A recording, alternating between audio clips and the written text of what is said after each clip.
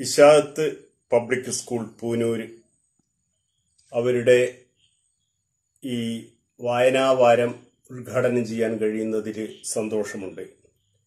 ആയിരത്തി എഴുന്നൂറ് കുട്ടികൾ പഠിക്കുന്ന മികച്ച ഒരു വിദ്യാലയമാണ് ഇഷാത്ത് പബ്ലിക് സ്കൂൾ എന്നെനിക്ക് അറിയാം.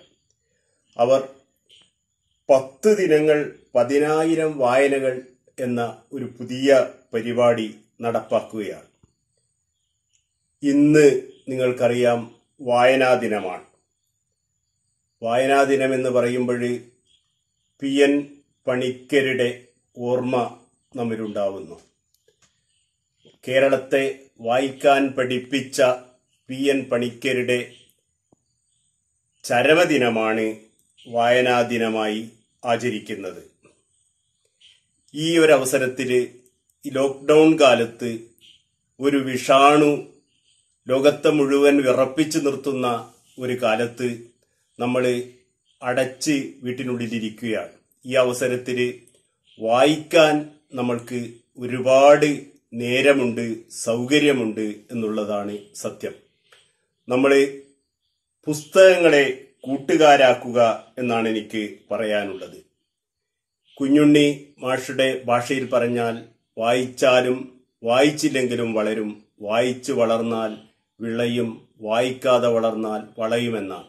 വായിച്ച് വിളയുന്ന കുട്ടികളാകട്ടെ നിങ്ങളുടെ സ്കൂളിലെ കുട്ടികൾ എന്നാണ് എനിക്ക് പറയാനുള്ളത്.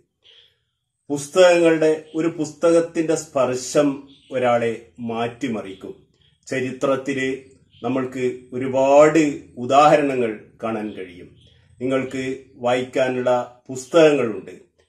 നിർദ്ദേശിക്കാനും പുസ്തകങ്ങൾ തരാനും അധ്യാപകരും അതുപോലെ തന്നെ വീട്ടിലെ രക്ഷിതാക്കളുമൊക്കെ ഒരുക്കമാണ്.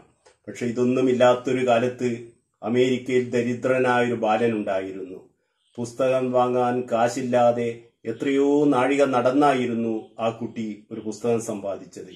അങ്ങനെ സമ്പാദിച്ച പുസ്തകം അദ്ദേഹത്തിന്റെ കൂരയിൽ മഴ പെയ്ത് ആ കൂര ചോർന്നൊലിച്ച് ആ പുസ്തകം നശിച്ചു പോവുകയാണ്. പിറ്റേ ദിവസം അതിന്റെ ഉടമയോട് എന്ത് സമാധാനം പറയുമെന്ന് ആശങ്കപ്പെട്ടുകൊണ്ട് ഈ കുട്ടി അതിന്റെ ഉടമയുടെ വീട്ടിലേക്ക് നടക്കുന്നു.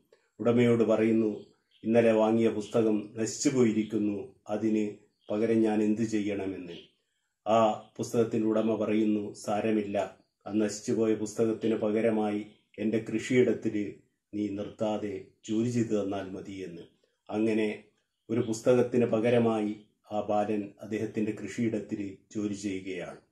പിൽക്കാലത്ത് ചരിത്രത്തിൽ നമ്മൾ ഈ കുട്ടിയെ കണ്ടുമുട്ടുന്നു.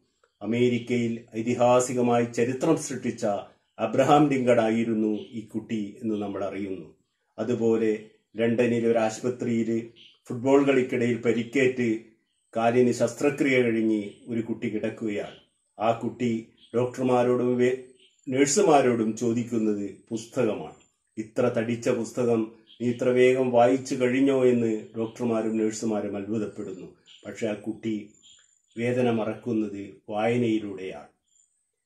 ആ കുട്ടിയെയും നമ്മുടെ ചരിത്രത്തിൽ കണ്ടുമുട്ടുന്നു. എഴുപതോളം പുസ്തകങ്ങൾ എഴുതിയ വിശ്വപ്രസിദ്ധനായ എച്ച്. ജി. വെൽസ് ആയിരുന്നു ആ കുട്ടിയെന്ന് നമ്മൾ അറിയുന്നു. ഇങ്ങനെ പുസ്തക വായന കൊണ്ട് മാറി മറിഞ്ഞ മഹാന്മാരായ ഒരുപാട് പേരുടെ കഥകൾ ചരിത്രത്തിലുണ്ട്. ഞാൻ അതിലേക്കൊന്നും പോകുന്നില്ല. നിങ്ങളോട് ഒറ്റ കാര്യം മാത്രമേ പറയാനുള്ളൂ. ആരെങ്കിലും എറിഞ്ഞു തരുന്ന മുദ്രാവാക്യങ്ങൾ വിഴുങ്ങേണ്ടവരല്ല നിങ്ങൾ. സ്വന്തമായി വായിച്ച് ചിന്തിച്ച് നന്മയും തിന്മയും തിരിച്ചറിയേണ്ടവരാണ്. നിങ്ങൾക്ക് അതിന് കഴിയട്ടെ പുസ്തകങ്ങളെ നിങ്ങൾ കൂട്ടുകാരാക്കി മാറ്റുക നല്ല പ്രകൃതിയെ അറിയുക എന്നാണ് എനിക്ക് പറയാനുള്ളത്. ഇങ്ങനെ ഒരു പരിപാടി സംഘടിപ്പിച്ച ഇതിന്റെ പ്രിൻസിപ്പൾ അധ്യാപകര് ഇതിന് പിന്നിൽ പ്രവർത്തിച്ചവര് പി ടി എ എല്ലാവരെയും ഞാൻ അഭിനന്ദിക്കുന്നു. എല്ലാവർക്കും നന്മകൾ നേരുന്നു. എന്റെ രണ്ട് കഥകൾ വായിച്ചുകൊണ്ട് ഇത് ഉദ്ഘാടനം ചെയ്യാനാണ് ഞാൻ ആഗ്രഹിക്കുന്നത്. വരദാനം ഒരു കാലടിയൊച്ച പിന്നെ ഒരലർച്ച പോലെ കോളിംഗ് ബെല്ലിന്റെ ശബ്ദം.